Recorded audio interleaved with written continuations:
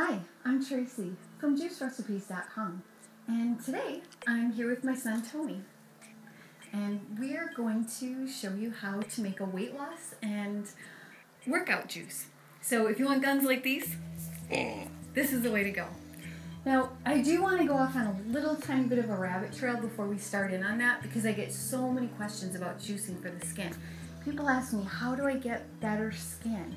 And years ago, Tony had a problem with his skin. It was he was really broken out, and we bought him some expensive things, and for his face, and it didn't help at all. So what did I tell you to do, Tony? We decided to go at it from the inside out. So first thing we did was Went ahead and tried cleaning out the kidneys, mm-hmm. which we used parsley because kidney is or parsley is a kidney cleaner. Also, lemons are a good kidney cleanser. Yes, they're an excellent diuretic and they're also good for cleaning out the liver. So we started making juices that included parsley and lemons. I would put it in with some carrot because carrot is also it gets rid of old stale bile from the liver. So as you start to clean out the organs, then it takes out takes the load off of the skin. So just kind of ta- try tackling it from the inside out. Start with the large intestine. If you've ever seen the uh, Dr. Jensen's book, he's got a book called um, A Guide to Better Bowel Care by Dr. Bernard Jensen. And if you see people's skin and the before and afters of once they cleaned out their large intestine, it's a powerful. Um, it's just really powerful for what can happen for cleaning out your skin when you start cleaning out your organs.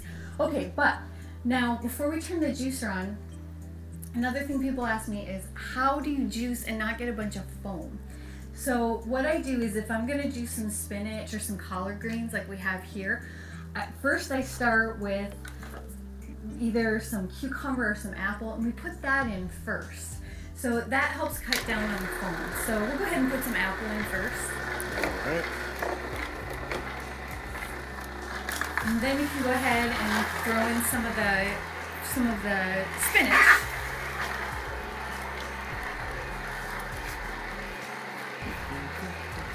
And then we've got some great things here for muscle building and repair. So, like for example, spinach. This is great for both post and pre workout. So, it's always good to put some spinach in there. It's also good for the skin, and it's a great blood builder.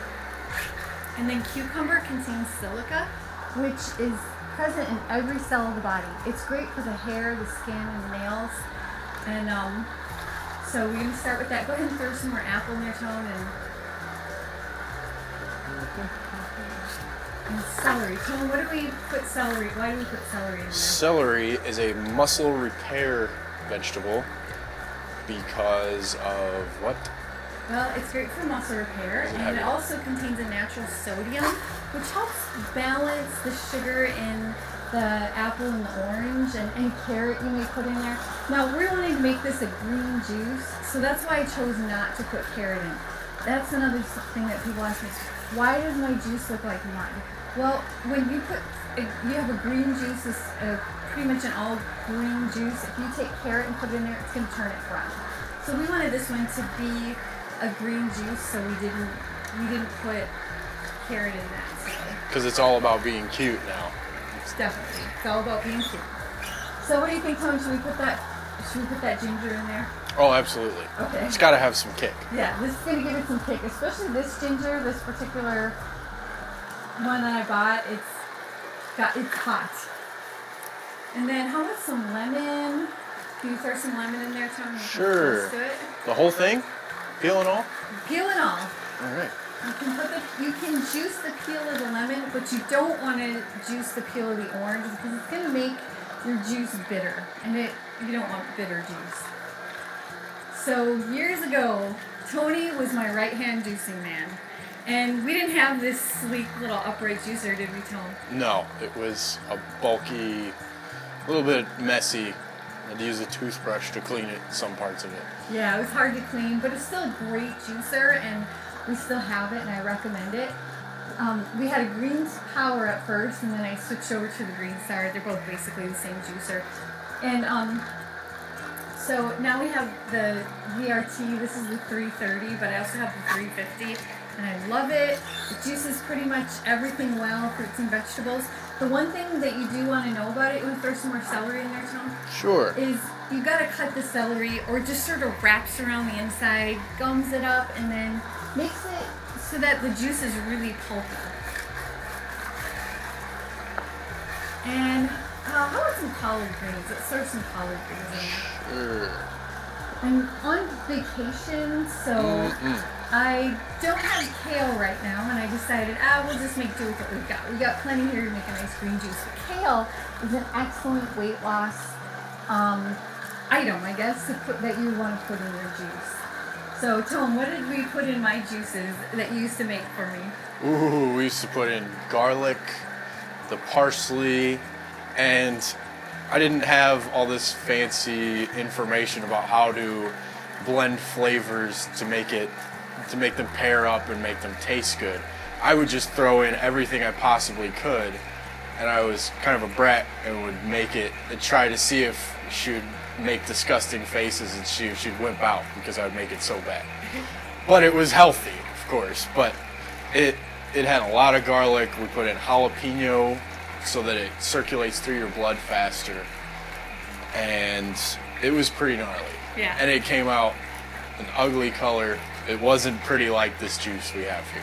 Yeah, look how nice this is. Look at this beautiful green color that this juice is right now. This is really pretty. But yet it still is good for you.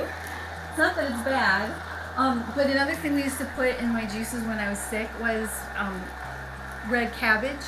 Because anything red, purple, deep blue, like in, when it's fruit, like blueberries, that is a blood builder.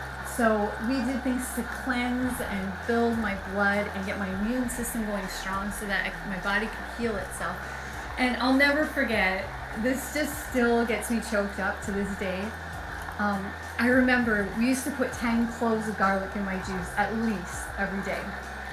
And Tony came by me one time and he said, Oh, mom, you smell like garlic.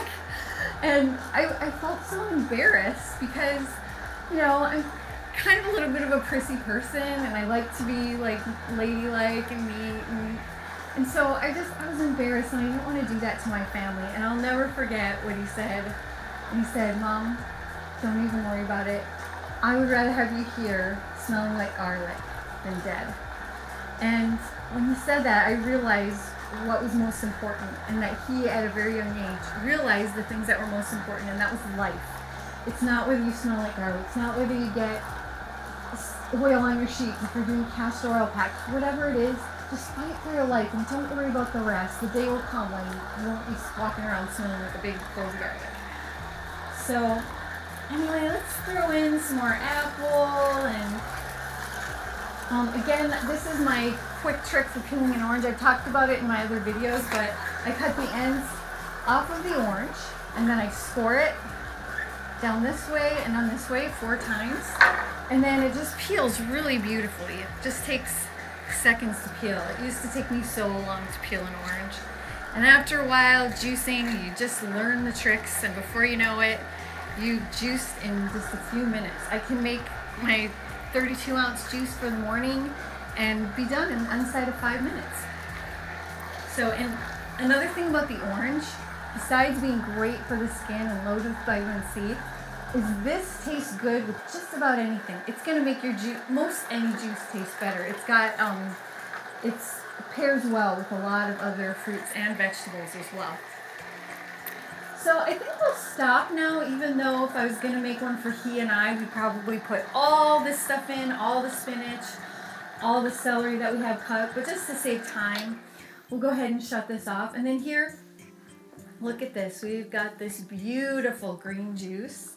And if you notice, there really isn't a lot of foam in it.